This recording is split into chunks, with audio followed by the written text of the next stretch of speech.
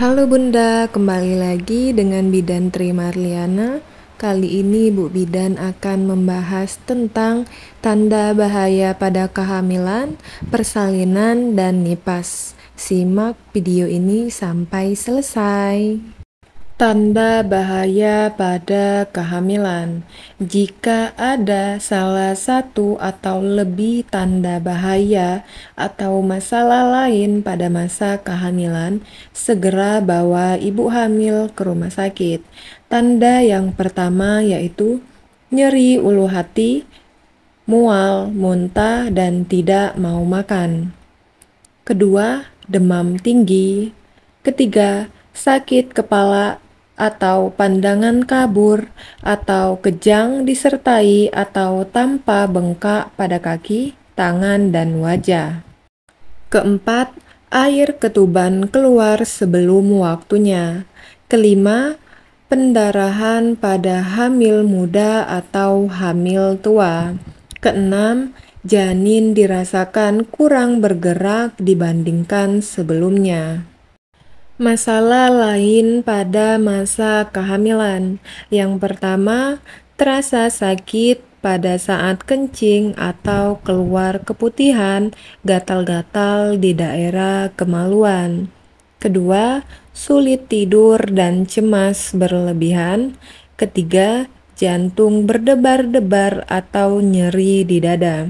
Keempat, diare berulang. Kelima, batuk lebih lama atau lebih dari dua minggu. Keenam, demam, menggigil, dan berkeringat bila ibu berada di era endemis malaria menunjukkan adanya gejala penyakit malaria. Selanjutnya, Bu Bidan akan membahas tanda bahaya pada persalinan. Yang pertama, perdarahan lewat jalan lahir. Kedua, air ketuban hijau dan berbau.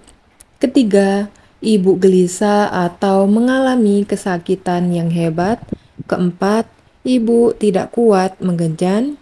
Kelima, tali pusar atau tangan bayi keluar dari jalan lahir. Keenam, ibu mengalami kejang. Jika muncul salah satu tanda bahaya berikut, persalinan harus segera di rumah sakit. Petugas kesehatan segera merujuk ibu ke rumah sakit untuk mendapatkan pertolongan di rumah sakit.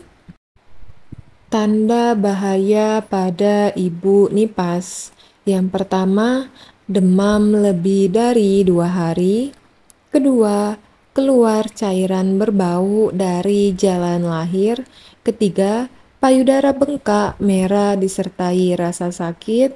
Keempat, nyeri ulu hati, mual, muntah, sakit kepala, pendengaran, kabur, kejang, dengan atau tanpa bengkak pada kaki, tangan, dan wajah. Kelima, ibu terlihat sedih, murung, dan menangis tanpa sebab atau depresi. Keenam, pendarahan lewat jalan lahir. Bila ditemukan salah satu atau lebih tanda bahaya, maka segera bawa ibu nipas ke rumah sakit.